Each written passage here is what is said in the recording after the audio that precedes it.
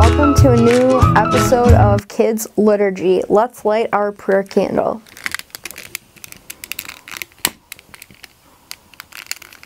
All right. So, thank you for joining us today. Today is February 14th, uh, Valentine's Day, and also the sixth Sunday in Ordinary Time. All right, so let's get right into our gospel reading for today. Um, so we're we're actually kind of picking up where we left off in our gospel story um, from last week.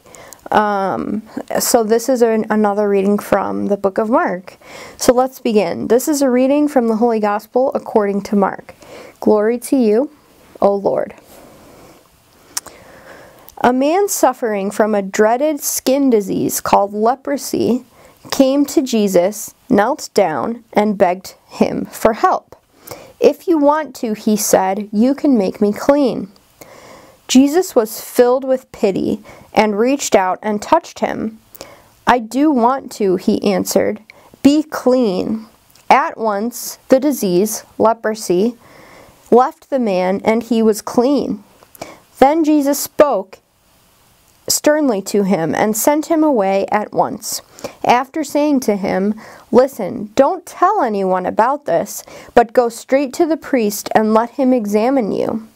Then, in order to prove to everyone that you are cured, offer the sacrifice that Masses ordered, Moses ordered.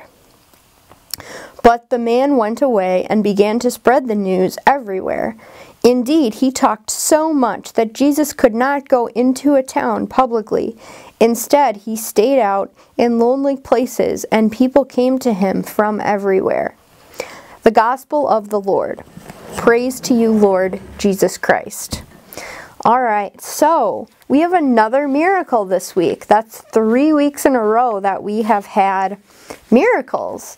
Um, so that's crazy. So this week, um, a man approaches Jesus with this skin disease called leprosy, and it means you kind of have big blotches all over your skin. Today we call it, it's known as Hansen's disease or uh, leprosy, it was called back in Jesus' time. And um, a lot of people who, um, uh, people who did not have leprosy stayed away from um, people with leprosy. And people with leprosy had, maybe you've, you've seen these noisemakers before. They're, um, they're long like this and they have a handle for you to hold on to and they have like hand, plastic hands on the end and you shake them and they kind of make a clapping sound. Maybe you've um, may, uh, used that before as a noisemaker, um, but these people with leprosy had noisemakers similar to that. Instead, it was wooden wooden boards that would clap. And when people who did not have this disease heard the clapping, they knew to, to go away from it because that was a warning that, that these people with leprosy were coming nearer to them. And so I don't have I don't have a hand clapper, but I do have this singing bowl So that's my noisemaker for today. Um, but so that's kind of the history of this uh, this disease. So I'm going to uh, display a picture of a person right here that you'll see. And um, I want you to consider this question. If you had the power to help anyone in any way, what would you do?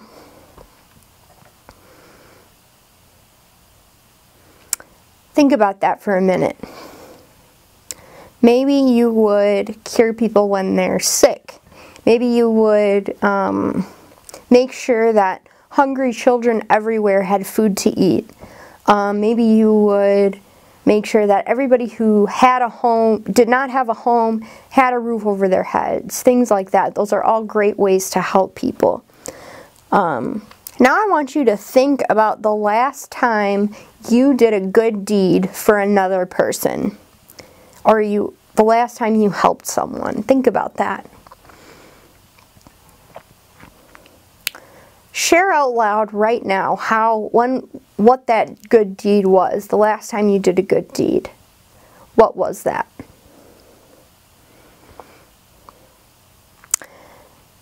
Great job. Thank you so much for sharing and, and thinking about that.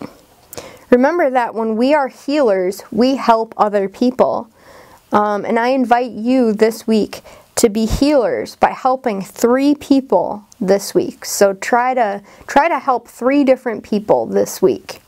And the simple message for the gospel reading for today is that when we help others, we are be being healers. All right, great job. Um, thank you for, for reflecting on the gospel with me. Now, um, to get into our, our game, um, our answer from last week is um, Simon Peter. So the question was whose mother in law was healed in the gospel story? And the answer is Simon Peter. So if you said Simon or Peter or Simon Peter, um, you got the answer correct, so great job. And congratulations to you if you were the first one to submit and win the prize. Um, your prize is either um, shipping or it has arrived to you by now, so great job. All right, let's uh, play our game for this week and spin our wheel. Remember that uh, if we spin a five, uh, that's a wild and we spin again. Oh, we got a five. All right, let's spin again. Oh my gosh, we got another five. Spin again. All right, we got a three. All right, so here's our question. What is the disease that the man in the gospel story had that Jesus healed him from? So let me read that question one more time. What was the disease that the man in the gospel story had that Jesus healed him from? All right, so if you think you know the answer, uh, please uh, uh, email me here. I'll display the email up here. It's also in the description. And send me today's date, which is February 14th, and the answer to the question.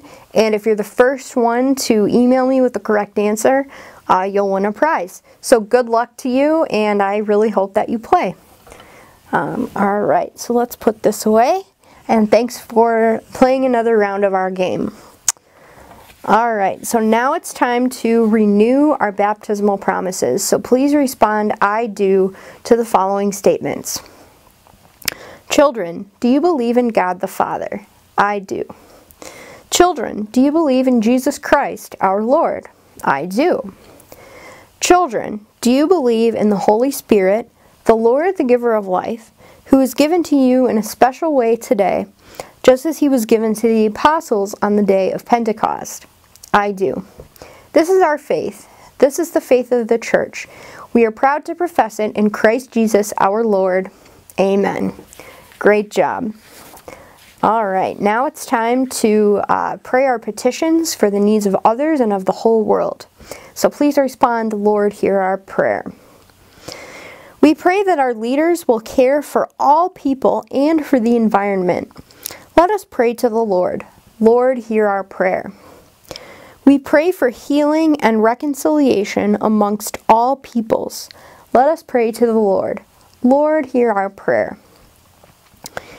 We pray for those we find it difficult to forgive.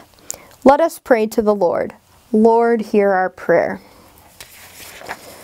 We pray that we may live as a people of peace and harmony. Let us pray to the Lord. Lord, hear our prayer. Loving God, listen to the prayers we make. In the name of Jesus, amen. Awesome job, boys and girls.